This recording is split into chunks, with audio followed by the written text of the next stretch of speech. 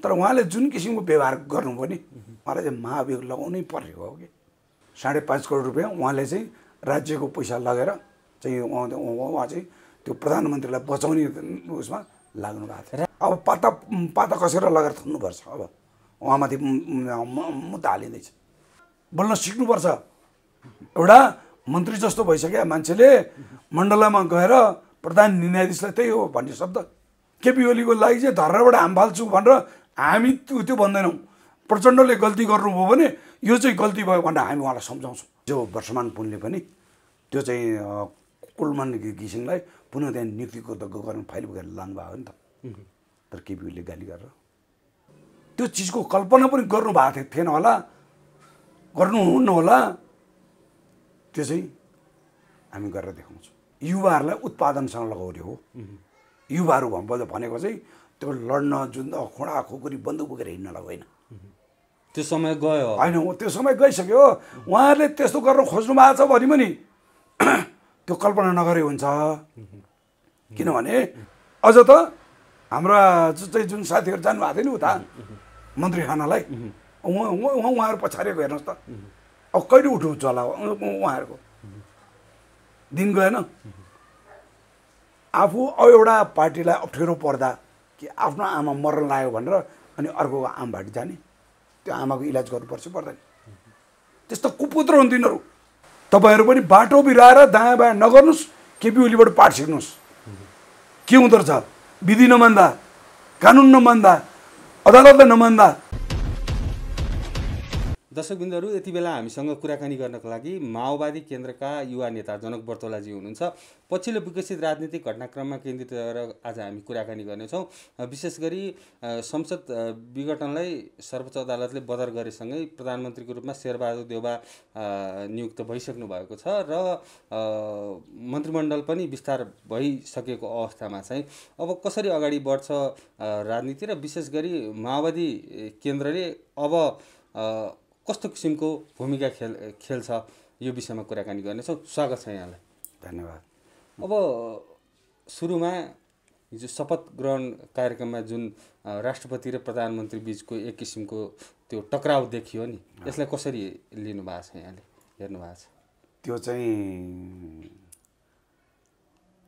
एउटा राष्ट्रपति जस्तो गरिमामय पदमा बस्नुभएको चाहिँ विद्यादेवी भण्डारी। उहाँले जुन किसिमको हिजो हरकत गर्नुभयो त्यो चाहिँ एकदम नसुहाउँदो। त्यो सबैलाई अपमान होइन? र उहाँले चाहिँ फेरि अब केपी ओलीकै शैलीमा अन्त त्योभन्दा फरक त उहाँ कहाँ हुनुहुन्छ र होइन? त्यो उसमा चाहिँ एउटा छिद्र राखेर अब त्यो संविधानको धारा हटाएर नराखेर छत्तरको पाँच थियो नि त त्यो हटाएर त्यहाँ चाहिँ प्रधानमन्त्री बनाइयो भने भोलि चाहिँ मुद्दा हालेर त्यसको खारिज गर्न सकिन्छ भन्ने उहाँको भित्री अन्तरात्मामा थियो होइन? त्यो अन्तरात्मामा भएकोले अब उहाँहरू पनि त दुई चारचोटि प्रधानमन्त्री भइसके होइन? त्यहाँमाथि पनि हाम्रो अध्यक्ष कमरेड पनि ती हुनुहुन्थ्यो होइन? माधव कमरेड पनि ती हुनुहुन्थ्यो। अब उहाँहरूले सबैले पछि गएर भनेपछि अनि सचाएर ल्याउनु भएछ तर त्यस्तो गर्नुपर्ने स्थितिसम्म थिएन। जुन धारामा टेकेर उहाँ प्रधानमन्त्री हुनुभयो त्यो चाहिँ हटाइदिनु। त्यो त भएन नि। त नियत खराब भयो अब उहाँले चाहिँ के गर्नुहुन्छ होइन? मेरो चाहिँ सल्लाह उहाँलाई महाअभियोग लगाएर तुरुन्तै इमिडिएटली हटाउनुपर्छ। राष्ट्रपतिलाई महाअभियोग लगाउनु पर्छ? पर्छ। एकदम मैले देखेको। मैले हिजो पनि भने हो। उहाँले टेर्नु भएन। अझै लगाउन सक्नुहुन्छ तपाईँहरूले? त्यो बहुमत चाहिन्छ नि महा महाभियोग लगाउनको लागि त। त्यो पुग्छ। पुग्छ? पुग्छ। त्यो त अब उहाँको व्यवहारले उहाँको चालचलनले नै उहाँलाई महाअभियोग लगाउनु पर्ने अवस्था आइसक्यो क्या। जहिले पनि टेकडम गर्ने जहिले पनि चालसाजी गर्ने। अब त सिद्धियो त उहाँहरूको। जनताले जुन म्यान्डेट दिएको हो उहाँले त्यसमा काम गर्न सक्नु भएन होइन? उहाँले अदालत मान्नु भएन अझै पनि मान्दिनँ भन्दै हुनुहुन्थ्यो होइन? अब उहाँले कानुन मान्नु भएन विधि मान्नु भएन विधान मान्नु भएन केही मान्नु भएन। उहाँलाई त थाहा छ त।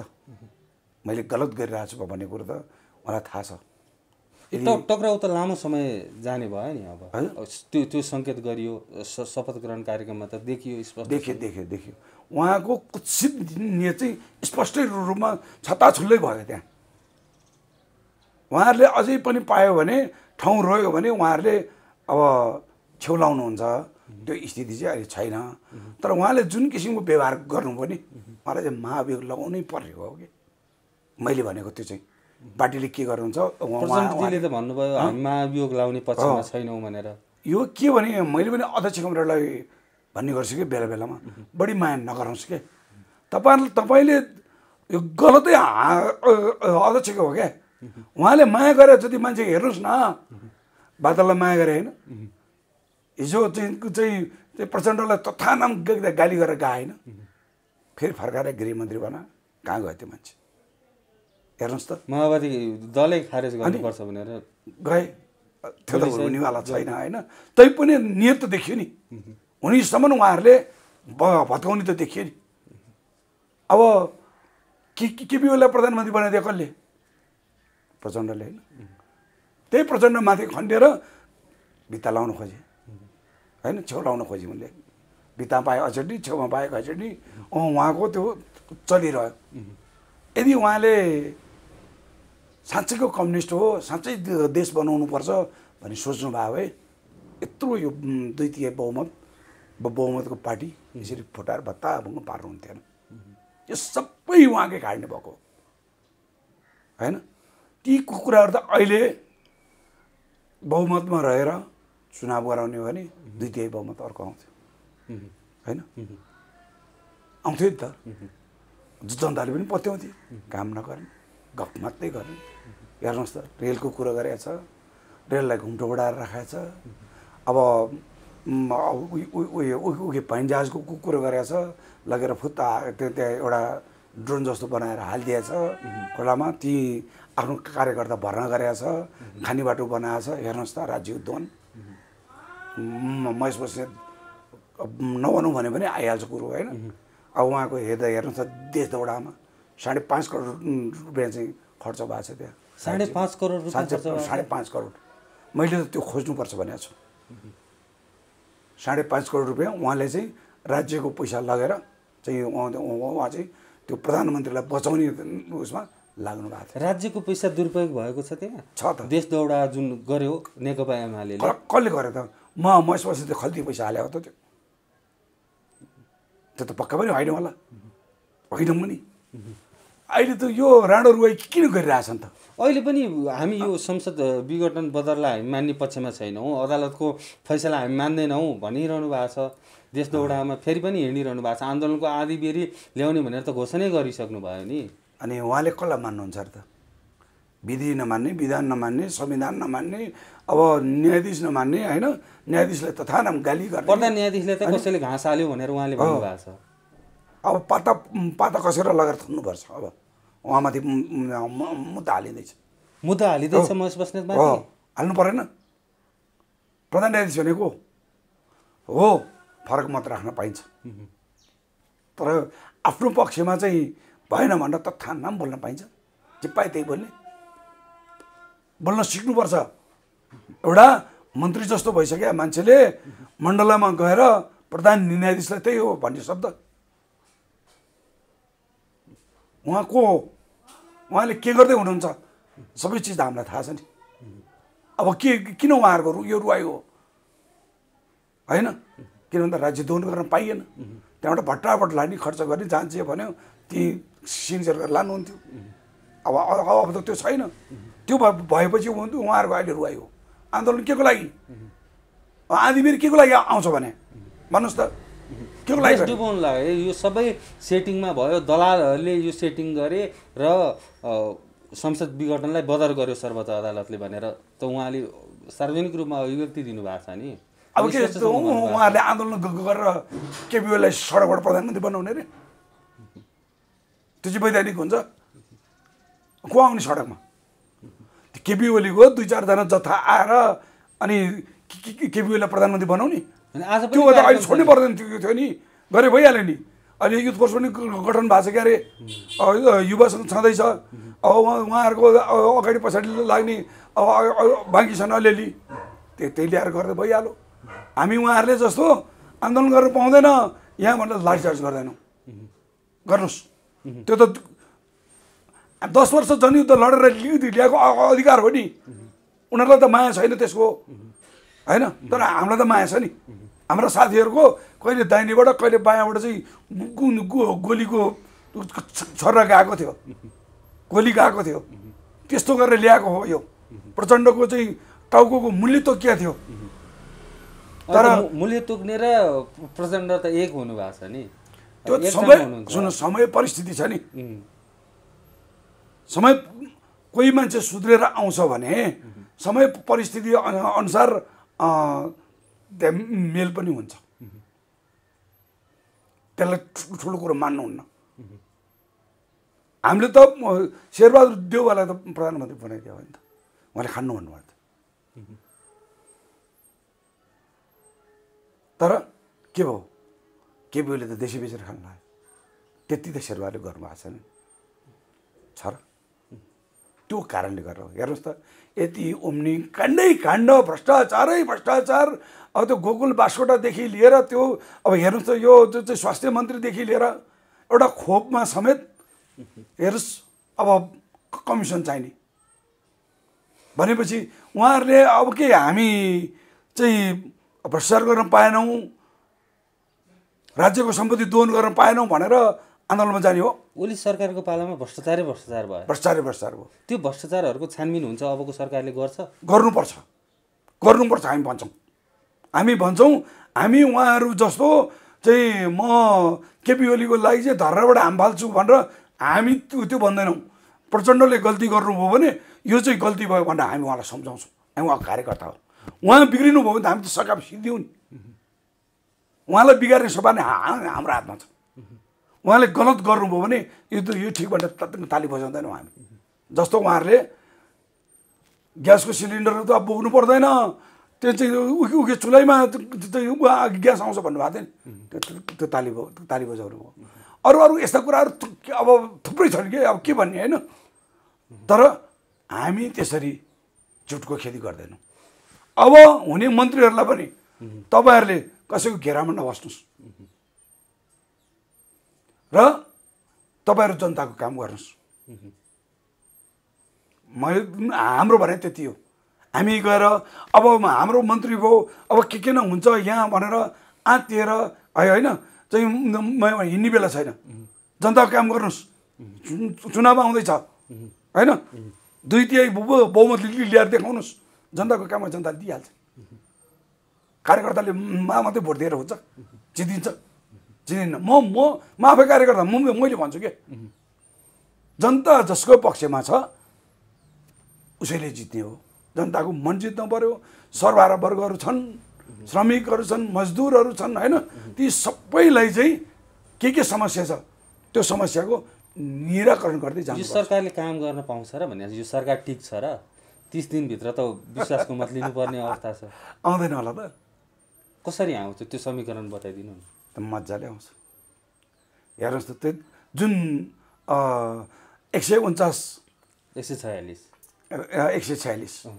एक सय उन्चास र छयालिस त देखिहाल्नु भएको छ। त्यसरी पुगिहाल्नु अर्को ल्याउनुपर्छ छ र? पुग्दैन त्यसले। माधव पक्षले पनि यता पुरै कुरै छैन नि। यो प्रतिगमनकारी छन् जाला नि त माधव नेपाल यत्रो पार्टीलाई फेरि पनि घात गर्छन् माधव नेपालले? ए ल। माधव नेपालले घात गरे हो त। यो त केपी ओलीले घात गरे नि। तपाईँले कुनै बुझ्नुहुन्न यार?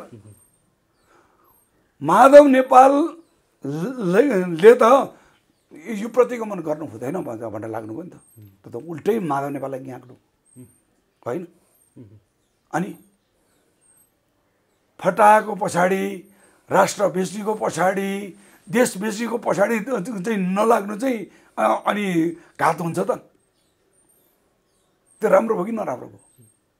भन्नुहोस् यसले अब नेकपा एमाले जसरी पछिल्लो समय दस बुद्धि सहमति पनि भयो एकताको कुरा अगाडि बढिरहँदा फेरि माधव नेपालले सर्वोच्चले जुन निर्णय गर्यो त्यसमा व्याख्या पनि गरिदिएको छ कि अ, व्हिप लाग्दैन भनेर। अब त्यो अवस्थामा चाहिँ विश्वासको मत शेरबहादुर देउवालाई दिएको अवस्थामा चाहिँ नेकपा एमाले एक भएर रहिरहने अवस्था आउँछ अब केपी ओली बाहेकको एमाले हुन्छ र त्यो सहितको चाहिँ हुँदैन। केपी ओली छुटेर जान्छन् अब। अरू उपाय छ केपी ओलीको त हामीले भनिहाल्यौँ नि। उहाँको त्यो बदमासीको त केही भनेर तारै छैन। र उहाँ फेरि अब उहाँको नियत त कहिले नसुध्रिने भयो क्या अब भनिहालेँ नि यो अन्तिमसम्म देखिहाल्नु भयो तपाईँले। एउटा के हुन्छ अरे भने नि गाउँमा एउटा बदमास थियो अरे। अनि त्यो बदमासले जहिले गाउँमा दुःख दिएको त्यही गर्ने कहिले कसको छोरी चेली चलाइदिने कहिले के गर्ने कहिले कसैको घर फोडिदिने साह्रै दुःख दियो अरे दुःख दियो मर्दै पनि हुन्थ्यो। होइन? भनेर त्यो भनेपछि एक दिन त्यो दुःख दुःख दिँदा दिँदा दिँदा एक दिन उसको काल आयो मऱ्यो। मरेपछि अनि उयो उसले मर्ने बेलामा के भनेर भने मैले तपाईँहरूलाई साह्रै दुःख दिएँ। होइन? अब मलाई चाहिँ तपाईँहरूले त्यसको चाहिँ रिस फेर्नुहोस्। म जिउँदै पनि तपाईँले म मारौँ भने त तपाईँहरू जेल जानुहुन्छ। म म मरेपछि मलाई चाहिँ भालाले रोपिदिनुहोस्। होइन? अथवा खुकुरीले त्यो काटेर त्यो त्यो उयो गरेर चाहिँ तपाईँको रिस त फेर पाउनु भयो भयो नि त भनेर भने होला सोझा गाउँलेहरू उनीहरूको पालो त्यहाँ चाहिँ त्यो चाहिँ रिसले अब हाने त्यो अब घाइते बनाए घाउचोट बनाए त्यो पछि लास बाँधेर चाहिँ जलाउन लाग्यो। लाँदाखेरि बाटोमा चाहिँ चौकी रहेछ। अनि यसो हेर्दा शङ्कास्पद लाग्यो। प्रहरीलाई खै खै लास हेरौँ। भनेर भन्दा त पुरै घाउ चोट छ अँ चिरिएको होइन। भनेपछि यो के हो त? अन्त तपाईँले मार्नु भएको। पुलिसले सिधै भन्ने कुरो आयो। भनेपछि जिउँदो हुँदा त दुःख दियो दियो। मरेपछि पनि दुःख दियो नि त्यसले।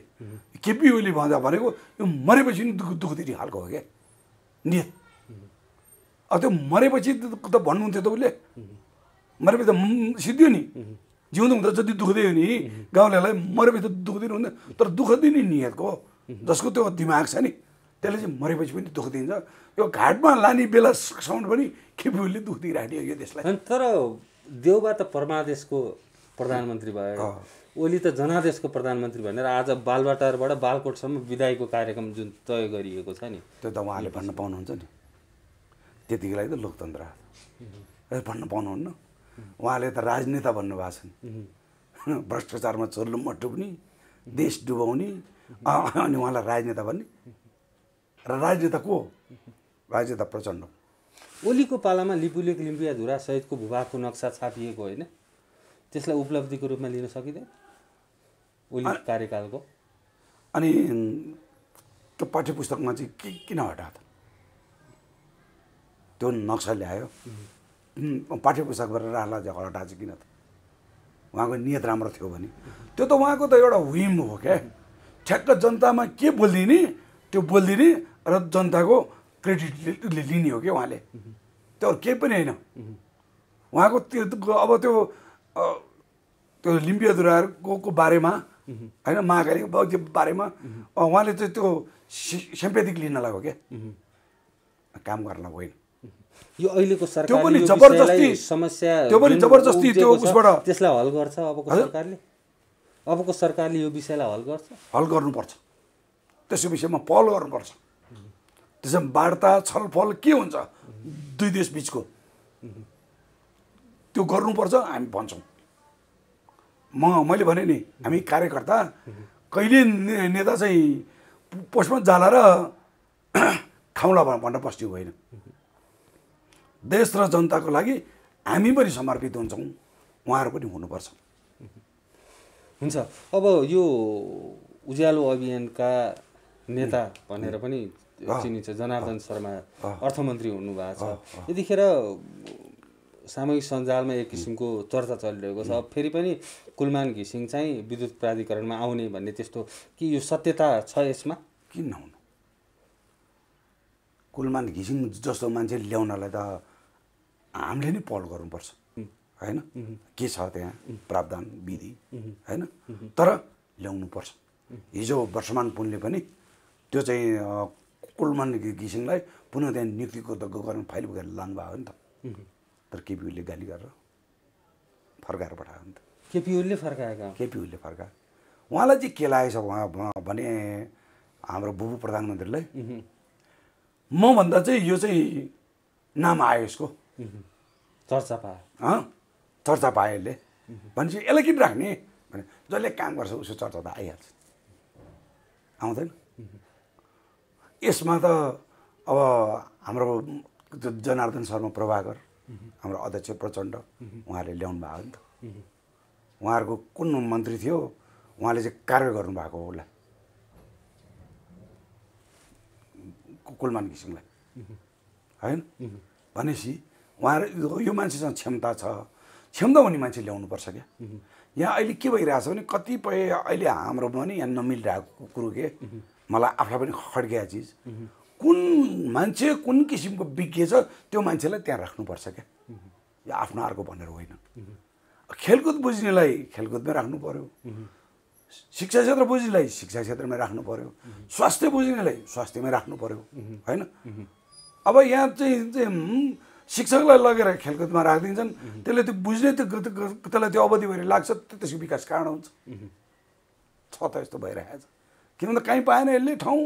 एउटा नियुक्ति त दिनै पर्यो यसलाई दिदिउँ भनेर त्यहाँ दिइरहेको। अहिले भइरहेको नि त त्यही हो नि। होइन? हाम्रो शिवलालजी कहाँ खेलाडी गरेर हो त? होइन नि? त्यसको ठाउँमा एउटा इन्टरनेसनल प्लेयर होइन? पढे लेखेको मान्छे ल लगेर त्यहाँ राखिदिए भए खेलकुदको र भावनालाई त त्यो मान्छेले बुझ्छ नि त। त्यो कुराहरू छैन। कसलाई कहाँ राख्ने भन्दा यो मान्छेले मलाई त्यो बेला गुण लाग्थ्यो। है यसलाई चाहिँ लगेर त्यति त्यहाँ राखिदिने भए दुई चार करोड दस आठ करोड पनि कमाउँछ र त्यसलाई चाहिँ यसो थन्काउने ठाउँ पनि हुन्छ भनेर त्यसरी राख्ने। त्यसरी त कहाँ चल्छ। अनि देश सुध्रिन्छ समृद्धि हुन्छ। केही थाहै हुन्न त्यसलाई। अनि त्यो खानेभन्दा बाहेक त्यसलाई त अर्को त सोचै सोच्दैन। अब सिलवालाई नि मुद्दा लाउनुपर्छ सिलवालको मुद्दाहरू अख्तियार मैले पनि के हालेको छु उसलाई। तपाईँले पनि हो केपी ओली छैन्जेल। उहाँको अब राज चल्यो होइन? अब हामी अख्तियार दिए उहाँहरू जस्तो त्यो तथानामा हामी अरू त केही गर्दैनौँ। कानुन तयारीमा हुनुहुन्छ तपाईँ। महेश बस्नेतलाई पनि भन्नुभयो सिलवाललाई पनि मुद्दा हाल्ने कुरा उठाउनु। महेश बस्नेतलाई त त अलरेडी नै हाल्छन्। अब त्यो त अदालतको मानहानि हो होइन? महेश बस्नेतकै कुराकानी गर्दाखेरि माओवादीलाई त अब कहाँ खोज्ने? गुगलमा खोज्दा पनि भेटाउँदैन भनेर अस्ति माइतीघर मण्डलाको एउटा कार्यक्रममा उहाँले भन्नुभयो। अब सरकारमा गइसकेपछि त्यो अवस्था चाहिँ सुधार हुन लागेको हो माओवादीको। त्यो त अब यही स्थितिले परिस्थितिले थाहा भइहाल्यो। उहाँले अब के के भन्नुहुन्छ के भन्नुहुन्न? अब प्रधान न्यायाधीशलाई त घाँस अब हालेको भन्नु भन्नु पनि अरूलाई त के भन्नुभयो अब त्यो त्यो- भन्ने कुरो होइन। अब गुगलमा खो खोज्ने पालो चाहिँ उहाँहरूको हो। उहाँहरूलाई अब गुगलमा खोज्नुपर्छ। किनभने अब यो जनता विरोधी काम गरेपछि त अब उहाँहरू फेरि आउनु होला त सरकारमा। उहाँहरूलाई दिएला नि त जनताले भोट। पक्का पनि दिँदैनन्। र यो स्थिति चाहिँ अब उहाँहरूको त्यो एउटा आफू सत्तामा भएको? चाहिँ यो- एउटा घमण्ड हो होइन? म हामी चाहिँ सत्तामा छौँ यही अब हामीले नि चुनाव गरौँ नि दायाँ बायाँ गरेर जसरी हुन्छ अब हामी जित्छौँ भने उहाँको उहाँको घमण्ड हो। यही अदालतकै विषयलाई लिएर पनि रवि लामे छानेको एउटा स्ट्याटस आयो। के अरे के अरे के अरे अदालतको आदेश मान्दिनँ अरे तिम्रो बाको शासन हो र भनेर रवि लामे छानेले जुन स्ट्याटस हालेका थिए। यसलाई लिएर एन मोहरको एक किसिमको चेतावनी आएछ नि। ठेगान लगाउने रवि लामे छानेले ठेगान लगाउने भनेर एन मोहरले त चेतावनी दिएका छन्। सँगसँगै मैले यहाँ जोड्न खोजेको चाहिँ नेकपा एमाले विरुद्ध जसले आलोचना गर्छ जसले विरोध गर्छ अ, तलाएरै छर्छौँ भन्ने किसिमको अभिव्यक्ति अस्ति महेश बस्नेतको पनि त्यही किसिमको अभिव्यक्ति आयो युवा सङ्घ पनि बिउतिएको अहिलेको अवस्था छ। यो बिचमा चाहिँ युथ फोर्स। युवा सङ्घले युथ फोर्स बिउताएको अवस्था छ। यो बिचमा चाहिँ यस्ता किसिमको अभिव्यक्तिहरू आइरहँदाखेरि चाहिँ तपाईँहरू कसरी अगाडि बढ्नुहुन्छ? यो चाहिँ के हो भने अब निम्नी बेलाको बत्ती जस्तो उहाँहरू अब ठ्याक्कै एकैचोटि सत्ताबाट बाहिरिँदाखेरि त उहाँहरूलाई त्यसको पीडा हो बिचरा। त्यति बो बोल्नु त अब बोलिहाल्नु हो होइन? तर नबोलिया भए राम्रो हुन्थ्यो। एउटा सञ्चारकर्मीमाथि होइन? अब त्यति भनेकै भरमा चाहिँ म यता- यस्तो गर्छु भन्नु त ठिक होइन होइन? अब त्यो मै माथि त यहाँ कति षड्यन्त्र भइरहेछ। मलाई चाहिँ अब युवा सङ्घका भाइहरूले अब चाहिँ यसलाई चाहिँ ठेगाना लाउनु पऱ्यो भनेर उहाँहरू लागिरहनु भएको छ। कहिले को कहाँ पुग्नु भएको छ अरे कहिले को कहाँ पुग्नु भएको छ अरे होइन? यसलाई चाहिँ ठेगाना लाउनु पऱ्यो भनेर तपाईँले ठेगाना खोजिरहेको छ युवा सङ्घले यतिखेर। अनि त्यो त्यतिबाट मलाई चाहिँ खबर आइरहेछ। तपाईँलाई चाहिँ यसो यसो भन्दा भन्छ लाउन दिनुहोस् न। केही फरक छैन। हामी आक्रामक शैलीमा आउँदै आउँदैनौँ। अझ त अझ हामी सरकारमा छौँ। होइन? हामी त मिलाउने मिलाएर जाने पक्षमै छौँ। होइन? कानुनसम्म त आउनु होला।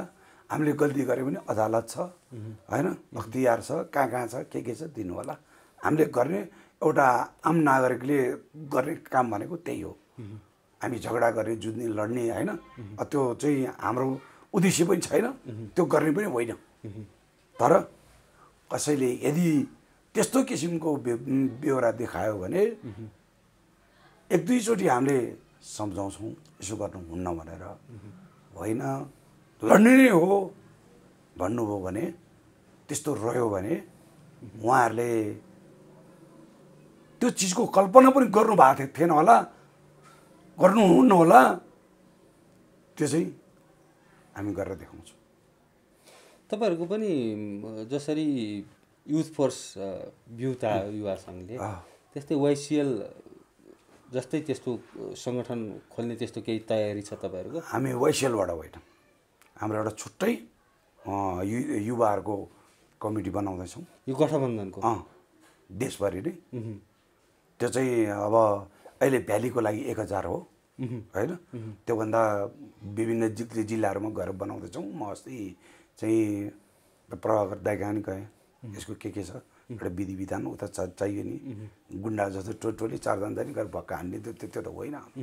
होइन? वि- वि- विधिमा विधानमा सञ्चालन हुनु नियम त मान्नु होइन? पार्टीले पार्टीसँग सल्लाह गरेर मैले अध्यक्षलाई टाइम ल्याएको थिएँ अस्ति। अनि हुन्छ पनि भन्नुभएको थियो। ठ्याक्कै भोलिपल्ट अब यो परिघटना भयो। त्यो पछि अब उहाँहरू चाहिँ चाहिँ त्यहाँ व्यस्त हुनुहुन्छ। मैले झक्कु दाईलाई पनि भेटेँ। दाई यसो यसो भएको छ। भनेर भने चाहिँ जानुहोस्। तपाईँहरू मैले पनि भनिदिन्छु। होइन? यो चाहिँ राम्रो हो सकारात्मक हो भनेर भन्नुभएको छ। त्यसको नेतृत्व मैले नै गर्ने हो। तपाईँको नेतृत्वमा हुँदैछ। युवा दस्ता बन्दैछ। भन्दैछ हामी युवा दस्ता उहाँ उहाँहरूको छ त लड्न र भिड्न त बनाउने होइन होइन। के गर्छ त तपाईँ तपाईँको नेतृत्वमा हुने युवा दस्ताले हाम्रो युवा दस्ताले यो नेताहरूलाई सही ट्र्याकमा ल्याउँछौँ हामी। उहाँहरूको छ त नेताको पछि जे- जे भो भो भनेर त ताली बजाउँदैनौँ भ्रष्टाचारको विरुद्धमा जान्छौँ हामी।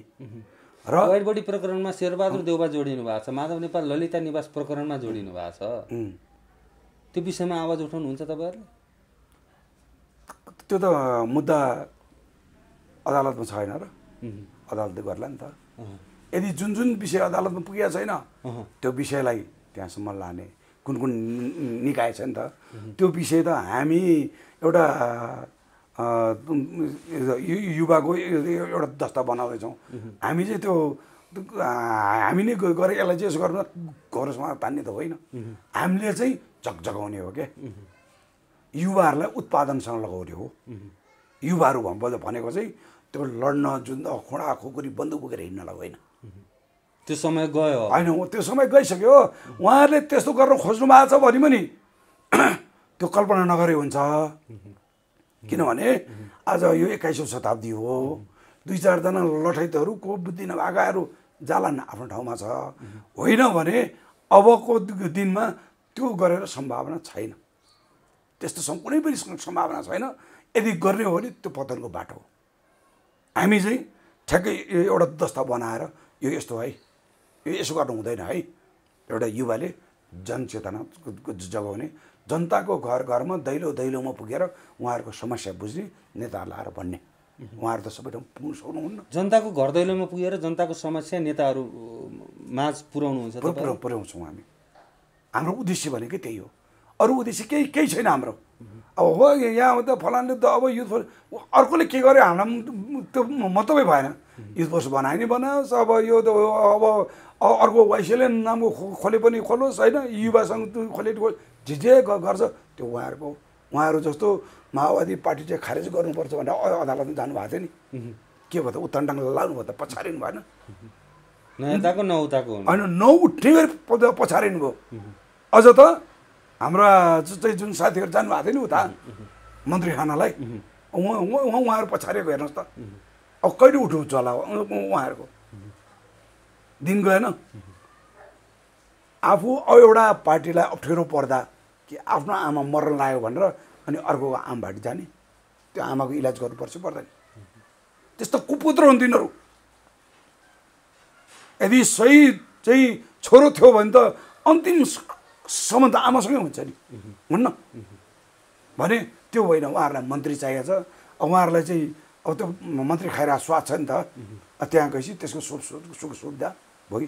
अहिले पनि हामीले त्यो भनेका छौँ क्या। यस्तोमा नजानुहोस् है।